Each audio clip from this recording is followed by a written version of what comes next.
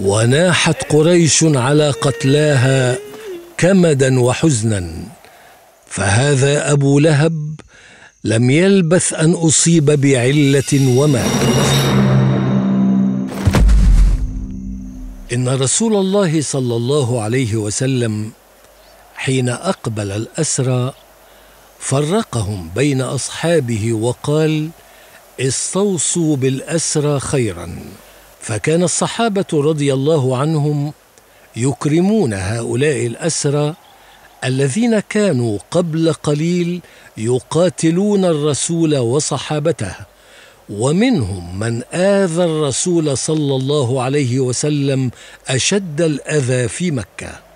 وهذا يؤكد أن الحرب في الإسلام حرب فضيلة وكان لهذا الخلق الرحيم أكبر الأثر في إسراع مجموعة من أشراف الأسرى وأفاضلهم إلى الإسلام. ويظهر أثر المعاملة الكريمة في حوار النبي صلى الله عليه وسلم مع أبي عزة الشاعر. يا رسول الله لقد عرفت نصيبي من المال لأفدي به نفسي من الأسر وإني لذو حاجة وذو عيال وبنات فمن علي فمن عليه رسول الله صلى الله عليه وسلم وأمر ألا يظاهر عليه أحد. وعاد الأسرى إلى أهليهم يتحدثون عن محمد ومكارم أخلاقه ومحبته وسماحته صلى الله عليه وسلم وعن دعوته وما فيها من الإصلاح والبر والخير. لقد انتصر المسلمون في بدر وهذا يغيظنا نحن اليهود. وقد اجلى النبي صلى الله عليه وسلم بني قينقاع عن المدينة لما أظهروا العداء الواضح بمجاهرتهم بالعدوان بعد بدر للمسلمين ولنبي الإسلام. فنقضوا عهدهم مع رسول الله صلى الله عليه وسلم فأجلاهم إلى خيبر جزاء وفاقا. يا قوم إني أخاف على مكانة قريش بين العرب. علينا أن نوقف محمدا وأتباعه بل ونقضي عليهم.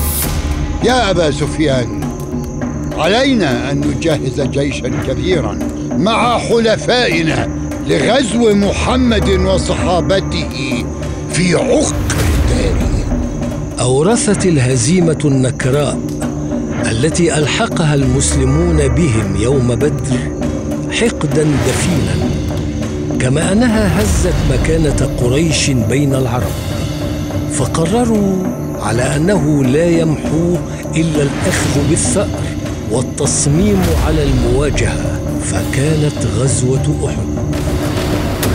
لما قتل الله أشراف قريش ببدر وأصيبوا بمصيبة لم يصابوا بمثلها ورأس فيهم أبو سفيان بن حرب للذهاب بأكابرهم وجاء إلى أطراف المدينة في غزوة السويق وجاءوا بنسائهم حتى لا يفروا وليحاموا عنهن. ثم أقبل بهم نحو المدينة فنزل قريبا من جبل أحد في مكان يقال له عينين وذلك في الشوال من السنة الثالثة. فلما تحرك هذا الجيش بعث العباس برسالة عاجلة للنبي صلى الله عليه وسلم ليخبره الخبر. فاستشار النبي أصحابه بين البقاء في المدينة أو الخروج إلى العدو فأبى كثير من الناس إلا الخروج إلى العدو وكان ممن أشار عليهم الخروج رجال لم يشهدوا بدرا فلبس النبي لمة الحرب وتلاوموا بعد ذلك فقال لهم رسول الله إنه ليس لنبي إذا لبس لمته أن يضعها حتى يقاتل. فنزلت الآية فما لكم في المنافقين فئتين والله أركسهم بما كسبوا أتريدون أن تهدوا من أضل الله ومن يضلل الله فلن تجد له سبيلا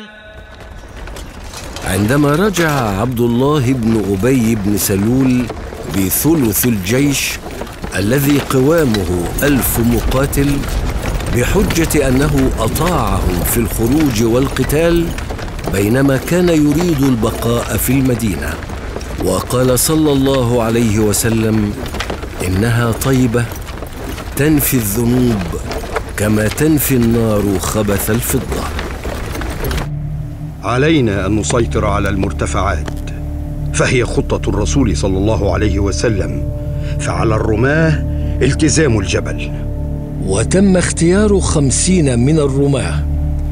وشدد الرسول الوصية عليهم بألا يبرحوا الجبل سواء في النصر أو الهزيمة. فقال لهم وإن رأيتمونا يتخطفنا الطير. لا تبرحوا أماكنكم وأمر عليهم عبد الله بن جبير.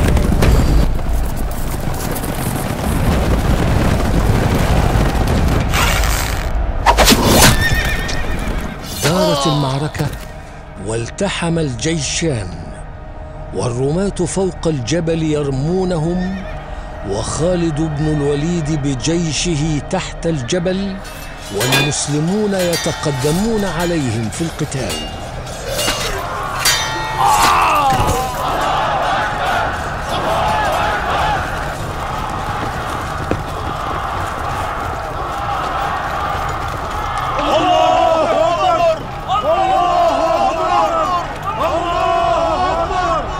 انظروا لقد انتصرنا والمشركون يفرون ويتركون خلفهم الغنائم والأسلام. لنهبط لنحصل على نصيبنا من هذه الغنائم. فلما رأى خالد بن الوليد بعد ذهابه نزول الرماة من أعلى الجبل التف بجيشه مرة أخرى راجعا ليأخذ أماكن الرماة أعلى الجبل فقتل من تبقى منهم بعد نزولهم وتقدم بجيشه.